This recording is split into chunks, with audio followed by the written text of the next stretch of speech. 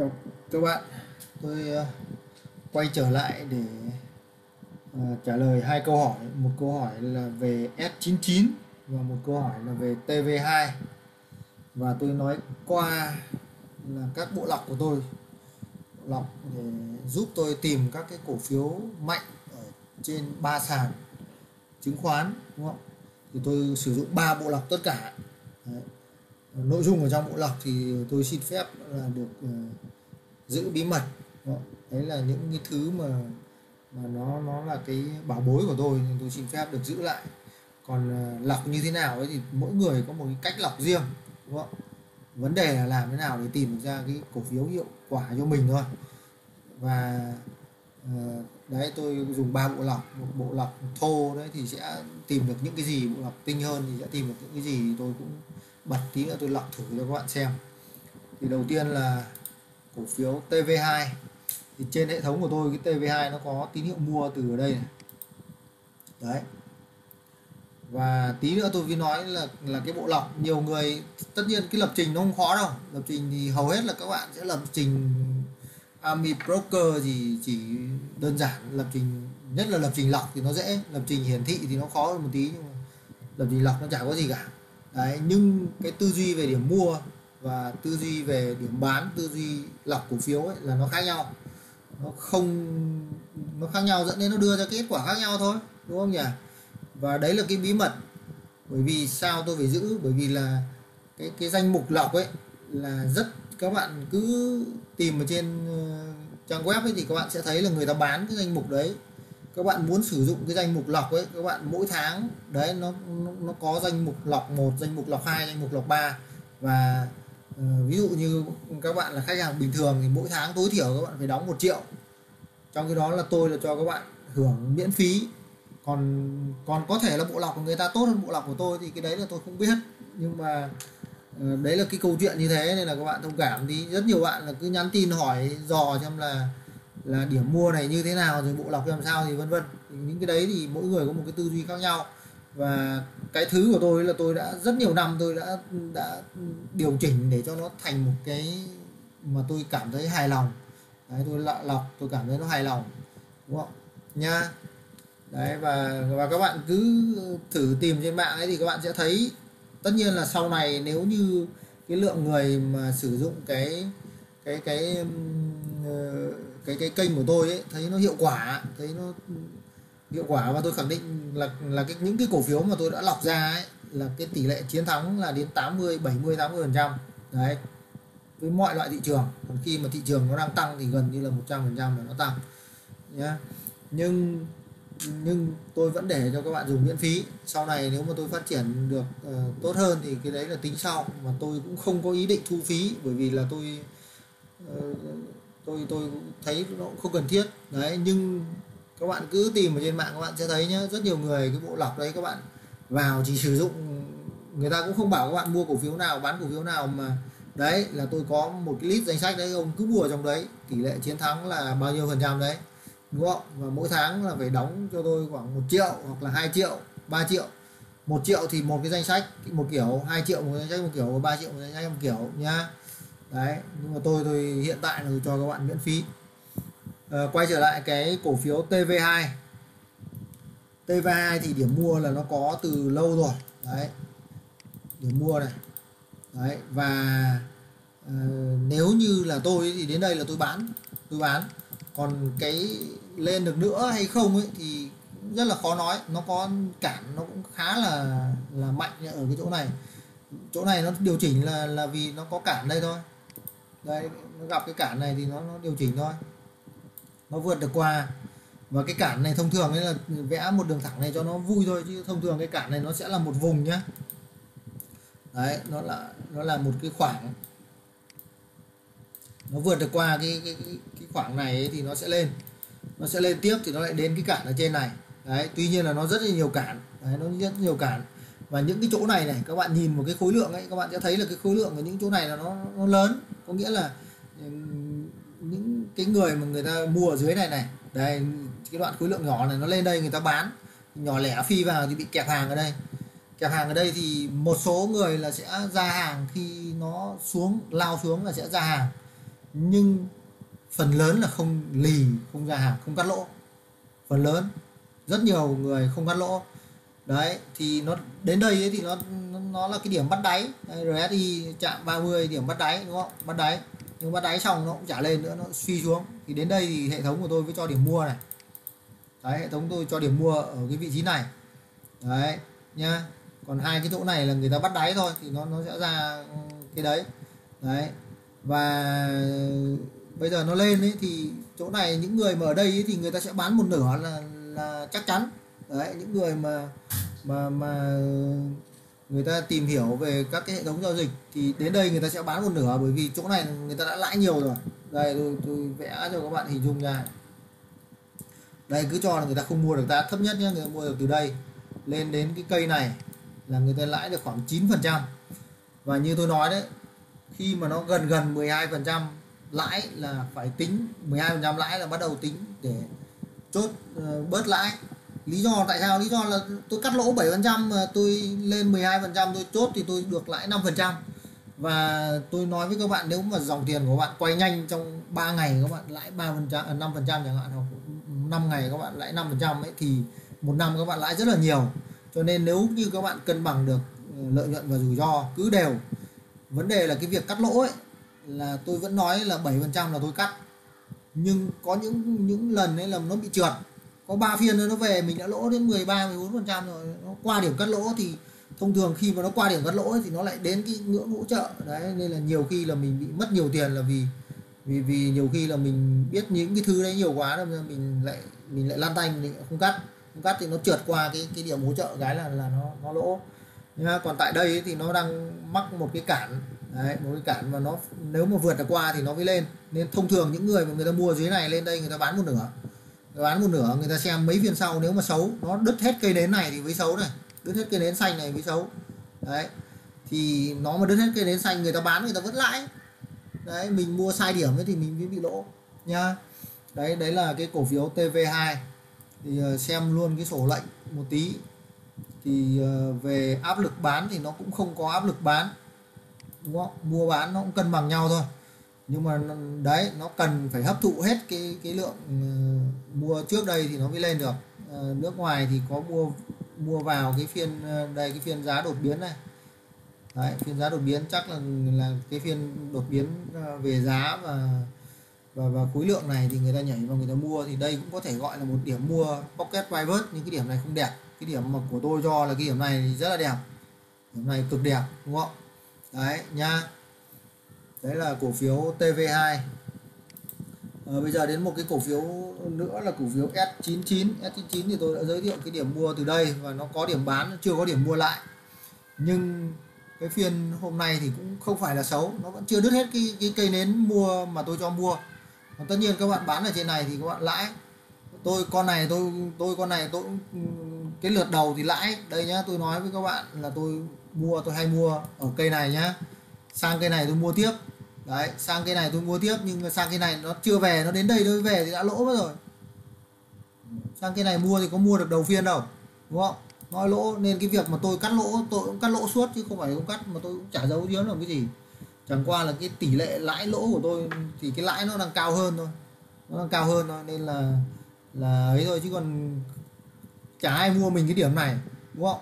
Và cái điểm này ấy, thì sẽ xác suất thành công của nó cũng nó chỉ là cao thôi chứ cũng nó vẫn có xác suất thất bại. Cho nên là nếu như mà mua ở đây ấy, mà nó đào xuống luôn nó lỗ luôn ấy, thì vẫn phải cắt. Đấy nên là tôi sẽ mua ở đây để thăm dò. Sau đó đến đây tôi lại mua tiếp. Tí nữa tôi nói lại cái cổ phiếu ờ, HVH tôi cũng thế. Hôm nay tôi vẫn mua hôm nay tôi vẫn mua. Và nếu như mấy phiên nữa mà nó đào xuống thì thì, thì cũng phải cắt thôi. Mà, ừ, có giữ ở đây ấy thì chúng ta chỉ lãi một ít thôi đúng không? Đấy đấy là đối với cổ phiếu S99 nhá. S99 thì chưa có điểm mua lại, mà nó có điểm bán đây rồi. Đúng không? Có điểm bán đây rồi. Đấy, thì cái cái cái tơn đầu ấy là tôi lãi, mà cái tơn mà mua cái cây sau này là là tôi đang không lãi. Đúng không? Đấy, tôi cũng nói luôn để cho các bạn hình dung ra, và nó chưa có cái cây nến mua lại nhá. Đấy, chưa có cây nến mua lại. Ờ, S99 S99 thì nước ngoài hôm nay vẫn mua này nước ngoài hôm nay mua 6.000 đúng không? Mua 6.000 6.000 thì nó cũng nhỏ thôi, nó chẳng có gì cả. Và xem qua cái sổ lệnh ấy thì ờ, chúng ta cũng thấy mua bán nó cũng cân bằng nhau thôi, bởi cái cổ phiếu này cái khối lượng giao dịch của nó là cũng không lớn, nhá. Và S99 thì thì nó cần phải có một cái lượng tiền của lái vào để xử lý hết những cái cái, cái đám này đúng không? Tuy là cản của nó không nhiều như những cái con khác nhưng mà nó vẫn có cản chứ không phải là không nhá. Đấy thì hiện tại bây giờ là nó chưa có tín hiệu xấu chưa có tín hiệu xấu. Và cái vùng này nó đang nó nó đang nói cho chúng ta biết là cái vùng này là vùng đáy ngắn hạn rồi. Vùng này vùng đáy ngắn hạn rồi. Đấy nó nếu mà xuống khoảng 18 18 19 này là là tín hiệu bắt đáy này đấy tín hiệu bắt đáy một loạt này và cái chỗ này nó báo là đáy ngắn hạn ngắn hạn rồi nhá. Đấy ừ, quay lại tôi nói tiếp còn HVH tôi nói các bạn là con HVH đây nhá. HVH HVH tôi báo cho các bạn mua là rất là sớm mua từ hôm thứ sáu đúng không? Tôi cũng mua hôm thứ sáu. Tôi mua hôm thứ sáu nhưng hôm thứ sáu tôi không mua nhiều đúng không? Tôi không mua nhiều tôi mua một lượng vừa phải thôi làm sao tôi biết được? Chắc là ngày hôm sau nó tăng. Ngày hôm nay nó nó tăng ấy thì nó lại tăng rất là chuối. Đúng không? Đầu phiên thì nó làm một cây nến ờ, doji ở doji ở trên này. Đúng không? Doji trên này tôi cũng chả dám mua. Tôi tôi chỉ tôi chỉ thấy là nó đẹp thôi. Khối lượng nó tăng nhưng khối lượng nó không không tăng mạnh như này. Đúng không? Đến cuối buổi sáng ấy thì tôi phát hiện là đẹp rồi. Nhưng cuối buổi sáng giá nó lại cao rồi. Giá nó cao rồi. Nhưng mà tôi chấp nhận tôi mua. Tôi chấp nhận đánh cược và tôi tin rằng là cái dòng tiền nó vào mạnh như này ấy, thì vài phiên nữa nó vẫn tăng vẫn sẽ tăng mạnh. Đấy là tôi tin như thế. Nhưng mà cái tin này nó không phải là đúng 100% cho nên là các bạn bảo là tôi bảo các bạn mua con nào xong rồi nó có thể ăn 100% thì không có đâu. Bởi vì là nếu mà tôi biết như thế thì tôi đã bán hết nhà cửa thì tôi mua cho xong. Tôi chỉ cần ba bốn phiên thì là tôi ừ, bốn phiên hoặc năm phiên thì các bạn hình dung như bán hết nhà cửa xong rồi margin một cái thì thôi luôn chả phải làm gì nữa. Thế là xong đúng không? Nhá cho nên là nó có xác suất thất bại nhưng mà tôi tôi là tìm những cái điểm mà có xác suất thành công cao. Và thông thường ấy là nó cứ 70 phần trăm hoặc 80 phần trăm là, là tôi chấp nhận được và tôi sẵn sàng giải ngân ở những chỗ đấy. Còn các bạn muốn tìm một cái điểm mà nó 100 phần trăm thành công là không có đâu. Và không có một cái quyển sách nào hoặc là không có một cái người nào dạy cho chúng ta là một cái điểm nào mà có xác suất 100 phần trăm thành công cả. Nhưng các cái điểm của tôi là xác suất thành công rất là cao. Đấy, rất là cao. Tất nhiên là có có có ví dụ như tôi chỉ mua ở cây này thôi này thì là cao nhất đúng không?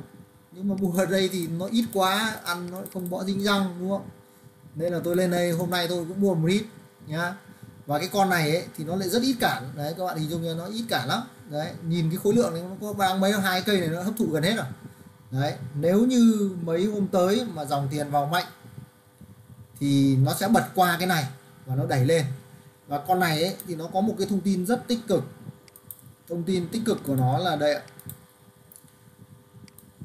À, liên tiếp ký hàng loạt các cái dự án khủng nhá. À, dự án nó ký với tất cả các nhà đầu tư lớn này gồm Vingroup này tập đoàn Novaland này Sun à, Sun Group này đúng không nhỉ? Đúng rồi Apex này.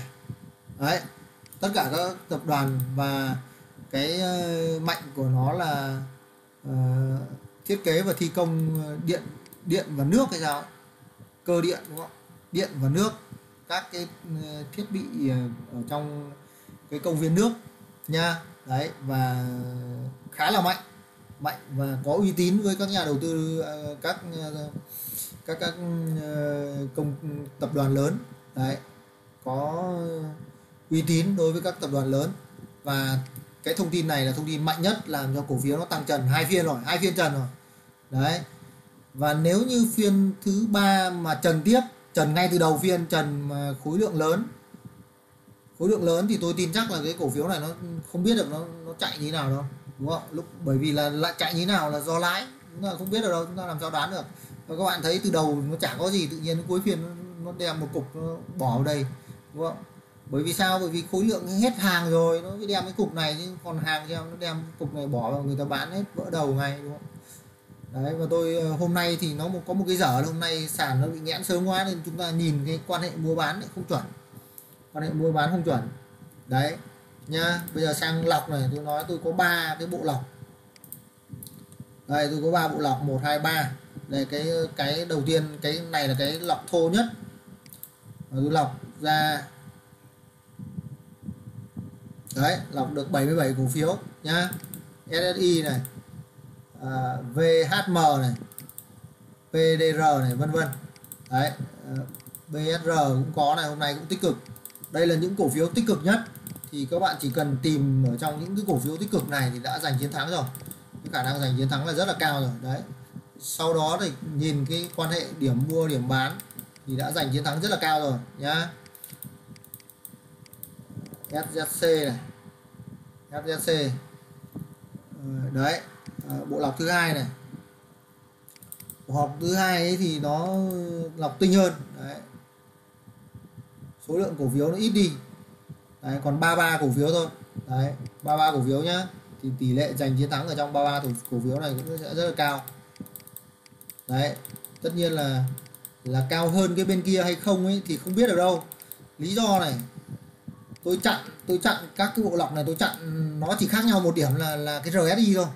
Cái bộ lọc bên kia tôi thả RSI ra bởi vì tôi thấy có những cổ phiếu có những cổ phiếu nó chỉ cần đi qua bộ lọc của tôi thôi nhưng cái RSI nó thấp cũng được nó thấp cũng được nó nó vẫn có cơ hội tăng. Và tôi vẫn mua những cái cổ phiếu mà có RSI thấp. Ví dụ như là hôm đấy hôm thứ sáu nhá cái cổ phiếu này lúc chúng ta mua ấy à, cái cổ phiếu này RSI đấy nó là 60 thôi. Nó không phải là mạnh. Đấy. Nhưng mà cái bộ lọc này là RSI nó phải từ 65 trở lên nó mới do vào. Thì khi đó là đấy khi đó là là, là là ngày hôm qua là nó sẽ không có cái này. Ví dụ thế xong rồi tôi có một cái bộ lọc nữa, nó tinh hơn. Đấy, nó tinh hơn.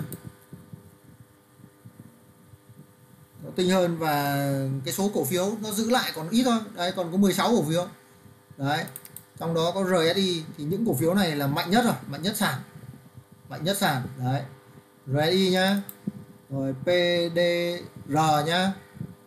PDR đấy, các bạn nhìn nhìn phát là thấy ngay là nó đang rất là mạnh rồi. VCI nhá. Đấy. PVT nhá. KDC nhá. SCR nhá. AGG nhá. Ờ, uh, VHC nhá. Hút. DDP PVP nhá. Đấy và có cả con HV HVH đấy vì nó tôi thấy nó mạnh tôi thấy nó rất mạnh nó vượt qua hết tất cả các cái chặn của tôi.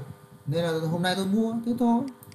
Còn nếu như mà đến khi mà nó về tài khoản mà nó sập thì tôi bán cắt lỗ tôi chả có, có vấn đề gì ngại cả. Mà tôi vẫn giữ cái nguyên tắc là đấy 7 phần trăm thì nên luôn luôn cắt lỗ khi chạm 7 phần trăm. Đấy nhưng mà bây giờ nó xảy ra cái bài toán mà tôi vẫn chưa nghĩ ra cái phương án là khi mà ba phiên nó về rồi ấy, nó vượt qua 7 phần trăm nó bật qua pha 7 phần trăm ví dụ như 12 phần trăm 13 phần trăm thì có cắt lỗ hay không? Khi nó vượt qua ấy, thì thông thường nó lại chạm vào ví dụ cái cổ phiếu TV2 của bạn hỏi nhá. Bây giờ ví dụ như các bạn các bạn mua ở đây thì xấu rồi không nói gì nhưng các bạn mua đây nhá. Lúc mà nó tụt xuống mua ở chỗ này được chưa? Mua ở chỗ này. Ừ, sang bên này đo cho nó dễ cái bên này TV2 đấy, thì tôi vẫn tôi vẫn đang phân vân cái đây, các bạn mua đúng cái điểm mua nhá. Đây, điểm tôi khuyến nghị điểm mua là mua chỗ này, được chưa? Các bạn mua xong, nó không tăng, nó giảm. Nó giảm và đây, các bạn bị dính ở chỗ này. Xuống chỗ này là 7 phần trăm. Nhưng mà thông thường ấy, mua các bạn không mua được cái giá thấp nhất đâu. Tôi không mua được giá thấp nhất, bởi vì cái hệ thống tôi báo là khi nó đạt đủ các tiêu chuẩn thì thông thường là tôi mua nó cũng phải là 50 phần trăm cây nến hoặc hơn 50 phần trăm cây nến thì tôi mới mua. Thế xuống ở đây nó đã lỗ mất khoảng 10 phần trăm rồi, nhưng mà nó chạm vào đúng cái ngưỡng hỗ trợ này. Đấy, thì chúng ta có cắt hay không?